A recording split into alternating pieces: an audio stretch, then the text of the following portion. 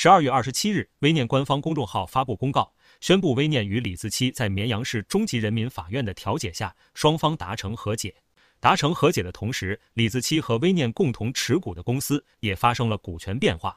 天眼查数据显示，十二月二十六日，四川子期文化传播有限公司发生多项工商变更，监事由刘同明变更为蒲倩云。杭州微念品牌管理有限公司持股比例由百分之五十一减至百分之一，李子柒持股比例由百分之四十九增至百分之九十九。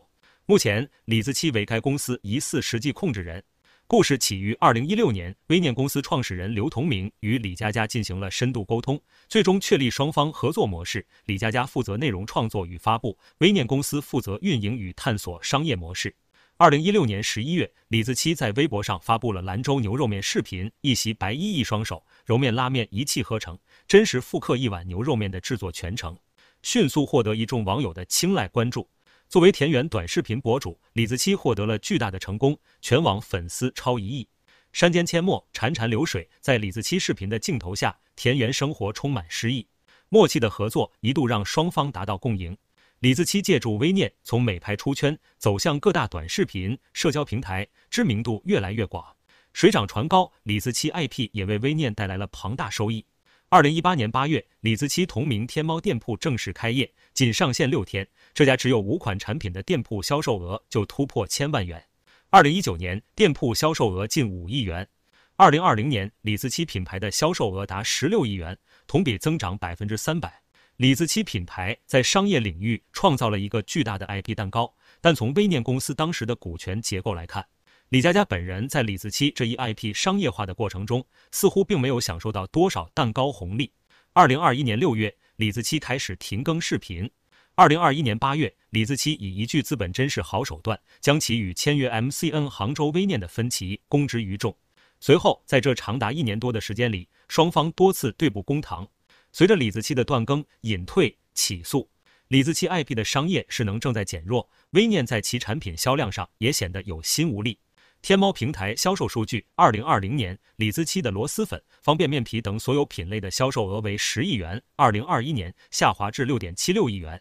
二零二二年上半年，李子柒品牌在天猫总销量为一点七亿元，较去年同期下滑了百分之五十一。二零二一年，微念也另辟蹊径。希望通过多番布局新品牌，以替代李子柒。其推出的螺蛳粉品牌臭宝便是其中一员。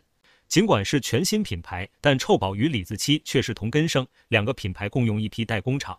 臭宝虽表现尚好，但与李子柒相比，仍存在巨大差距。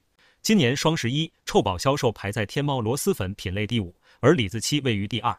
目前，李子柒天猫旗舰店粉丝数为六百八十五点四万，臭宝天猫旗舰店粉丝数仅为四十三点九万。二零二二年，微念试图让港风博主胡提提尝试拍摄田园风短视频，向李子柒转型，但仅在几个视频后便被网友吐槽四不像，目前收效甚微。显然，微念要想复刻第二个李子柒仍有难度。如今官司尘埃落定，股权变更完毕，李子柒再次归来，仍是顶流。不过，短视频江湖也已然变天，李子柒的下一个战场依然挑战重重。